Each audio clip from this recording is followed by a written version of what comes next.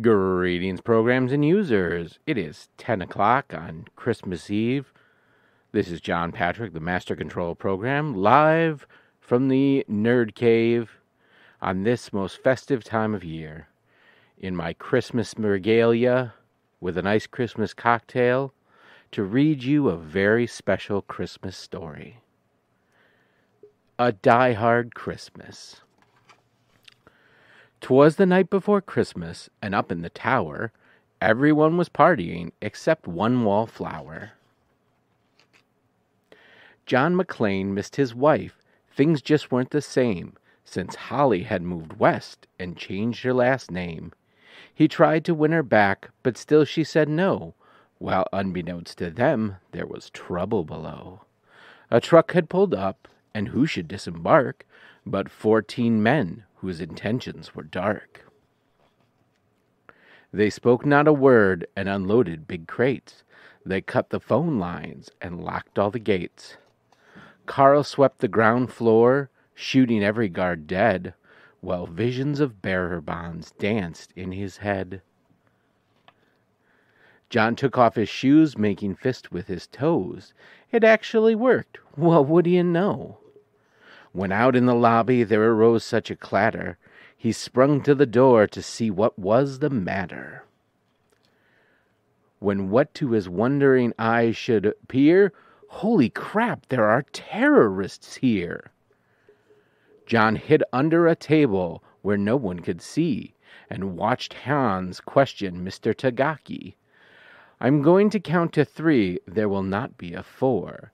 Give me the codes to open the vault door. I don't know the go- the codes. Go ahead and shoot. Okay, said Hans Gruber, and ruined his suit. John cr- tried to call the cops by pulling an alarm, but instead called the bad guys who tried to cause him harm. But John killed Tony, who had very small feet, and sent him to the terrorist as a Yuletide treat. He put a Santa hat on the German, and eyes all aglow, wrote, Now I have a machine gun. Ho, ho, ho. Carl was furious. Tony was his brother. He chased John across the roof, and they shot at each other. John was able to escape through the ventilation shafts, Come out to the coast, he sighed. We'll have a few laughs. At Nakatomi Tower, Sergeant Powell appeared. He checked the whole lobby and saw nothing weird. He was pulling away and didn't get far before Marco landed on the hood of his car. Powell drove away backwards, screaming in fright. Welcome to the party, pal! John yelled with delight. More police arrived, the FBI and a SWAT team. But Hans didn't mind, it was all part of his scheme. More rapid than eagles, his henchmen they came, and he radioed and shouted and called them by name. Now Eddie, now James, now Franco and Uli, on Fritz, on Carl, with hair long and unruly. They shot at the SWAT tank with a surface to air missile and knocked it away like the down of a thistle.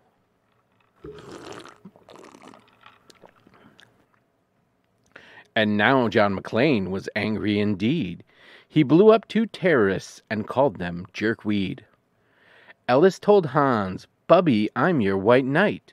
Hans shot him dead, giving the hostages a fright. Hans to, went to go check on the explosives fuse and saw that poor John wasn't wearing any shoes. John fled from Carl and Hans, but alas, he had to run bare feet over sharp broken glass.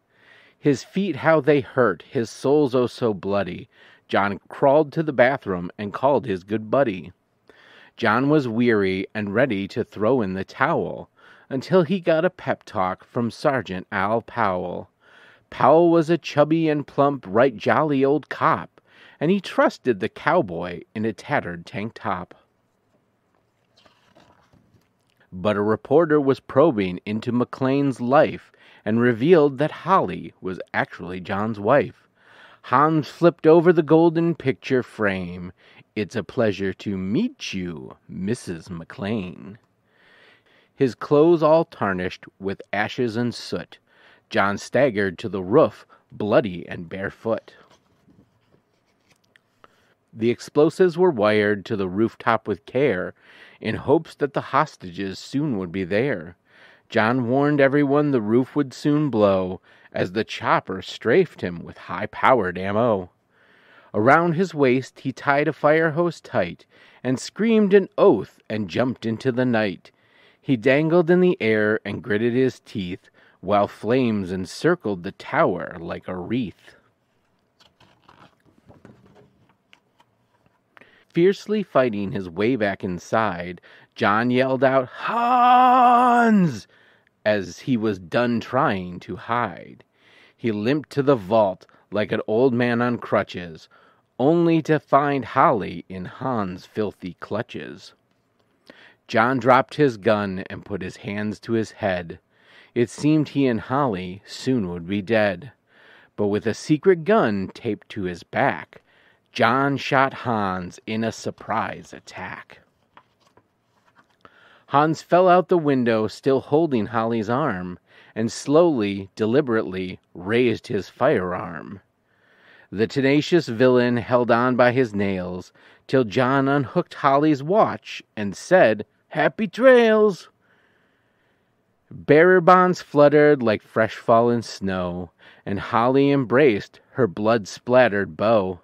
So Merry Christmas to all, be kind to one another, and most of all, yippee ki motherfucker.